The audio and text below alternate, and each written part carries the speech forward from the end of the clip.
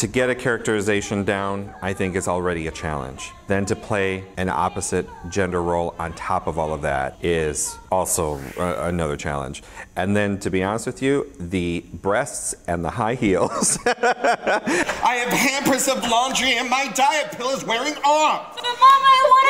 be famous! The dancing is really, really hard and it takes a lot of energy. I'm not the smallest person in the world. Um, I'm definitely a curvy girl. And in the 60s, honestly, this would be considered bigger.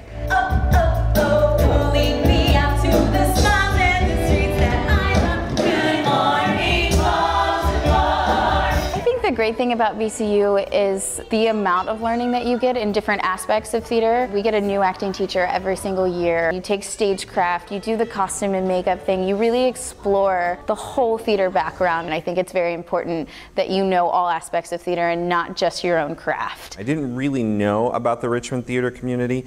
I came here because the theater pedagogy program is one of only a handful of, of programs like it. But when I got to Richmond and found how vibrant the theater community was, I was quite surprised and very happy about it. But the great thing about Patti is that every scene, every moment, every single movement has a story behind it. Every little move is specifically timed to a specific beat. I wanted to be the biggest thing in Braziers. The script is hysterical and yet it still has such a serious message. Nicest kids in town.